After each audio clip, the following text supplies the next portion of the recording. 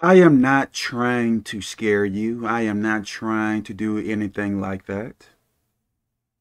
But what if I told you there is a demon standing right next to you? And you may say to me, Kevin, what are you talking about?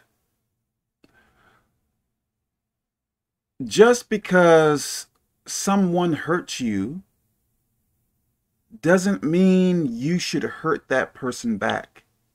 Just because someone is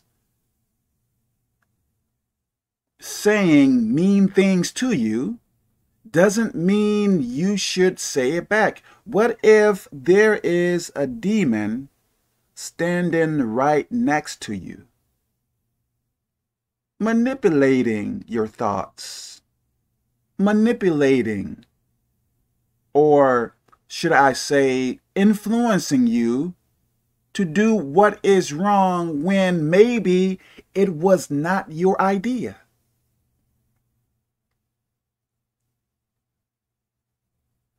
if you believe demons have no power, demons can't interfere with people's lives, I believe you are mistaken if you believe demons can't do that. Please understand what I am saying. I believe you may be in situations when, should I say, you may be in or may go through situations where something that is simple to understand, confusion happens.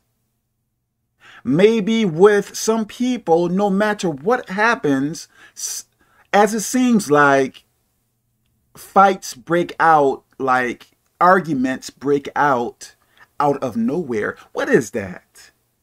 Can that be a coincidence? I don't think so.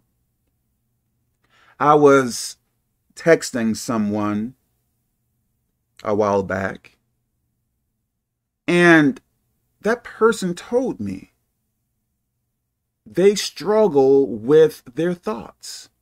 Now, how is that? Like, if I don't want to struggle with my thoughts, but I am struggling with my thoughts, what is it that is influencing my thoughts to go wild? Demons, right? I think so.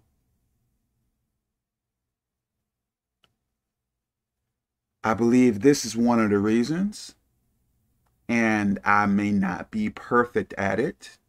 I still need work done on myself, but I believe that's one of the reasons why God tells us pretty much in the Bible to not to do wrong to people who do wrong to us.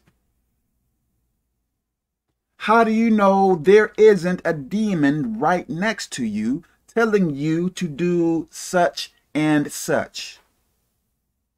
You may believe it is your idea, but how do you know if it truly is.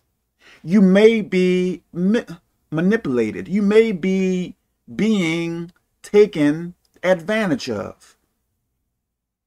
I hope this is making sense.